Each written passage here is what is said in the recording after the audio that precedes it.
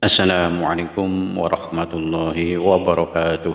بسم الله الرحمن الرحيم. الحمد لله رب العالمين.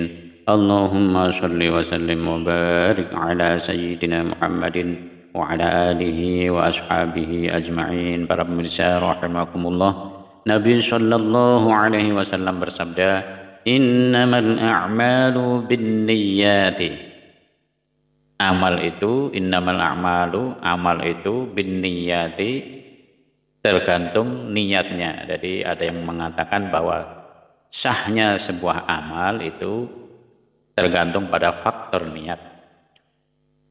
Wa innama likulli mri'in ma nawa. Seseorang akan mendapatkan balasan sesuai yang diniatkan. Orang yang berpuasa di hari Kamis atau di hari Senin di bulan Dzulhijjah boleh melafalkan niat rangkap seperti ini. Jadi insya Allah akan mendapatkan pahala sesuai yang apa yang dia niatkan. Meskipun meskipun sebagian ulama mengatakan bahwa tanpa lafal niat seperti ini pun sudah mendapatkan otomatis pahala puasa Dzulhijjah dan pahala puasa Kamis atau Senin. Tapi dengan melafalkan niat seperti ini, kita gunakan lisan kita untuk berkata-kata yang baik, kata yang disenangi, bukan kata-kata yang jelek. Orang yang berkata jelek mendapat dosa. Nah, orang yang mengatakan lafal seperti ini mendapatkan pahala. Karena di sini juga ada unsur zikirnya. Dan menurut Imam Nawawi melafalkan niat itu hukumnya sunnah. Niat itu sendiri tempatnya di dalam hati, namun talafut bin niyah itu dihukumi sunnah. Nah sekarang niat puasa bagi yang punya hutang kodoknya puasa kodok Ramadannya itu lafalnya didahulukan baru kemudian puasa Seninnya dan puasa Dzulhijjahnya. Untuk Senin maupun puasa Dzulhijjah bisa di bolak balik bisa diacak yang penting yang didahulukan adalah niat puasa kodoknya. Nah bagi yang masih punya hutang berniatlah seperti ini. Niat mengkodok puasa membayar hutang puasanya kemudian berharap mendapatkan pahala puasa bulan Dzulhijjah dan puasa hari Kamis ya ini niat puasa qadha sekaligus puasa Kamis dan puasa Dzulhijjah.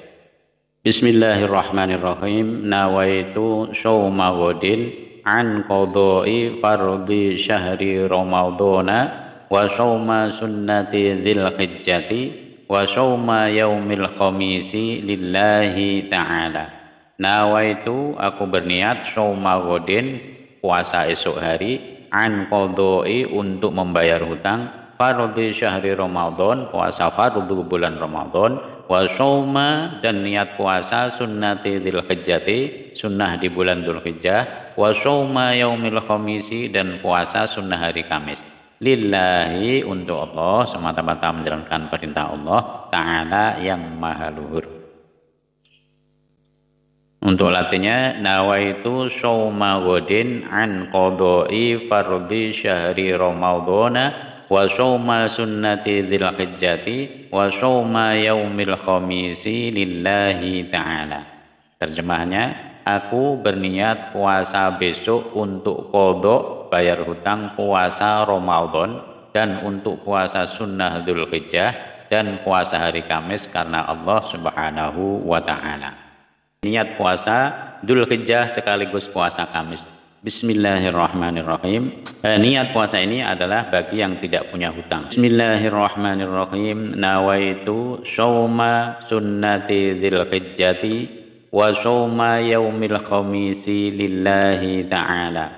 Nawaitu aku berniat syauma sunnati hijjati puasa sunnah bulan Dhul Hijjah wa syauma yaumil khamisi dan puasa hari Kamis lillahi ta'ala untuk mendapatkan keridhaan Allah ta'ala Allah maha luhur maha tinggi maha agung. Nawaitu syauma syahri dzulhijjah wa syauma yaumil khamisi lillahi ta'ala. Ada Indonesianya bagi yang tidak lancar berbahasa Arab aku berniat puasa sunnah dzulhijjah dan puasa hari Kamis karena Allah Subhanahu wa taala. Aku berniat puasa sunnah Dzulhijjah dan puasa hari Kamis karena Allah Subhanahu wa taala.